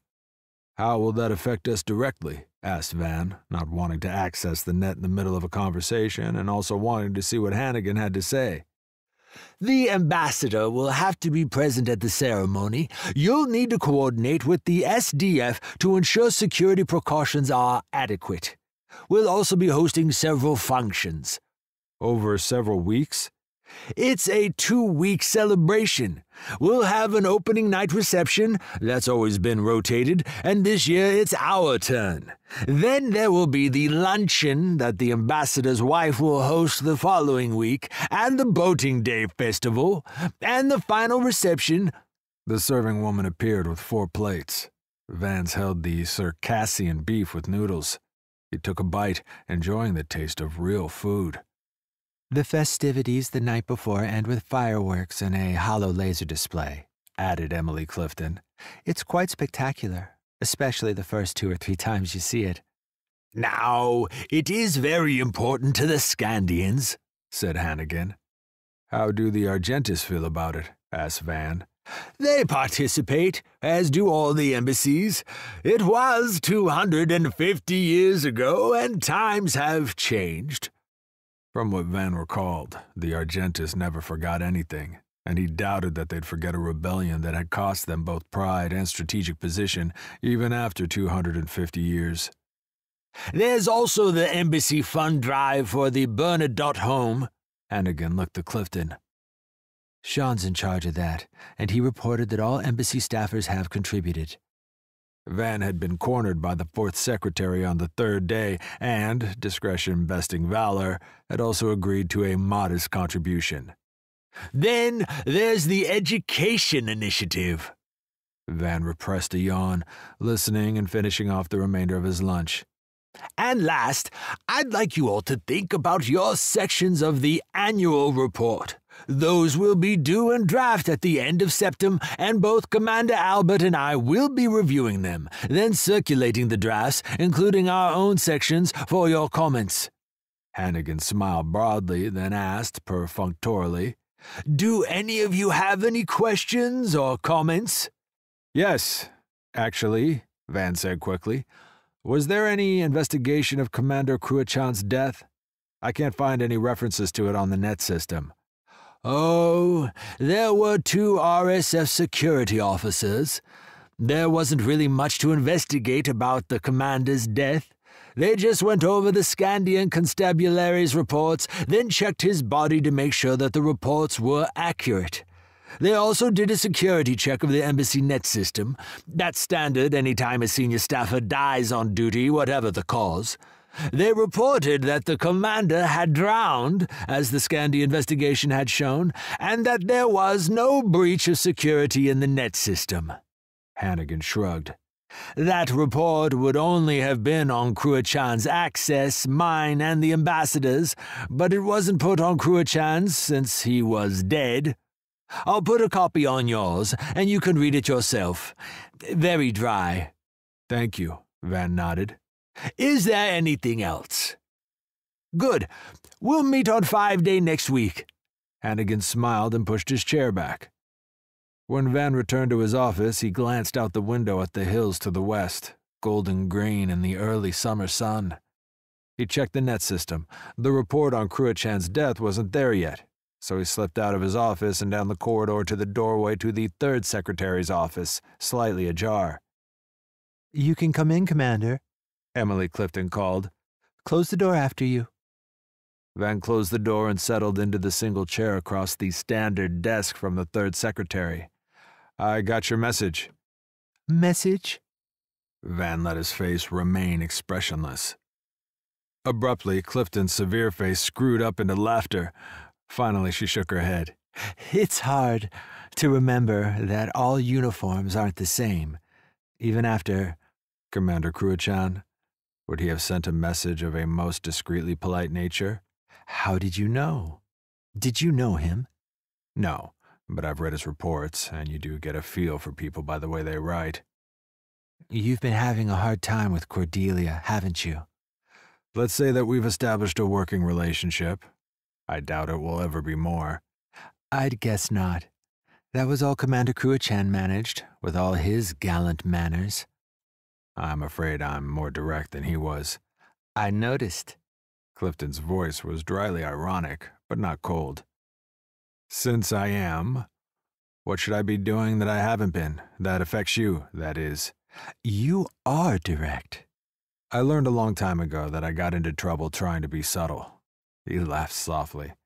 Then I got into more trouble being direct. Sometimes it's that way. After a moment, she went on. I can't say that I need any help with anything at this moment. I might, Van offered. The thin blonde eyebrows lifted, and the gray eyes fixed on him. You deal with the other embassies, right? And with the local media? She nodded. The media here are very local. That's why we put out the summaries of the armed news, the burst transmissions that come in on standing wave. The locals get it, but you won't see much of it in the local casts or holos. Have you seen any shift in reporting in the last two months, or anything different in the attitudes or appearances of the other embassies? Clifton shook her head again. That's one of the things I'm tasked with, and I can say I haven't seen any changes at all. After the commander's death, I wondered, and I went back and ran a whole series of analyses the newscasts, the local net content, everything. We got exactly the same results as the year before and the year before that, going back almost a decade. Her face turned severe once more. The commander's death bothers you. You wanted a reaction, didn't you? Otherwise, you would have asked Dr. Hannigan privately. Why? because it led to my being posted here. And I'm not that qualified for the post, if you haven't noticed already. You are direct. Better to be direct and acknowledge the obvious and get on with learning the job than pretending you know more than you do. That got another laugh before Clifton said, You're acting as if you think that Commander Cruachan's death wasn't an accident. I don't know that. Van wasn't about to admit that was the only explanation that felt right, that he had absolutely no evidence, except the unlikelihood that a senior officer who had great experience sailing would drown on a calm day. Let me think about it, offered the third secretary. Thank you. Van smiled and rose, and I will stop by more frequently. For a moment, her smile erased the severity of her face. Chapter 10 By five day, Van was pacing back and forth in his office. Virtually all he had done for an eight day was read reports and papers, all necessary because he'd effectively known nothing about Scandia and even less about being a military attache. He'd seen almost nothing of Valborg. Abruptly, he walked out of his office and down the corridor. He paused outside Emily Clifton's door, then knocked. Come in. Van slipped inside her office. I have a favor to ask, if you're not terribly busy. I'm not that busy, not until tomorrow. After I turn in the revisions to the media plan for the Scandian Independence celebration, Ian will decide on all sorts of changes. Why? What is this favor? A short guided tour of Valborg, especially the sights I should see. Sean could. But Sean doesn't know as much as you do, and I'd really appreciate it if you'd guide me. A faint smile crossed Emily's face. I imagine Dr. Hannigan would not complain if you knew more about Valborg from the embassy's perspective. The smile broadened slightly. And I would not mind a few hours away from the revised, revised, and re revised media plan. Are you sure? Let me see if we can get a car and driver. Van stood and waited while Emily made the arrangements, and then the two of them walked out of her office and down the ramp to the main level. A ground car stood waiting outside the side staff door to the embassy. Emily walked ahead of Van and stopped by the open driver's window. Sonia, we're going to give Commander Albert a tour, starting with the government square, and then the harbor and the multi district. Yes, sir, replied the woman. Up Knut to Independence and into the square off that. That would be fine. Van held the ground car door for the third secretary. You don't have to do that, Commander. Old courtesies die hard, he replied, shutting her door and walking around. We hope you enjoyed this preview. To continue listening to this audiobook on Google Play Books, use the link in the video description.